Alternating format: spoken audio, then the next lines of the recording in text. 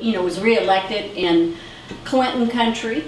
Uh, I know when uh, Mike and Janet uh, ran each time, Bill Clinton, as President of the United States, personally handpicked the candidates to run against them. And he and Hillary would come back to the state and campaign for these people. And over and over, you know, Janet and Mike would win against this type of op opposition. And so, you know, I hear a lot of people say, well, can, could, can he really, you know, could he really beat Hillary Clinton? Well, you know, he, he did it in Arkansas, uh, so to speak, for, for uh, many, many times over. So I really believe that he can. Uh, Janet,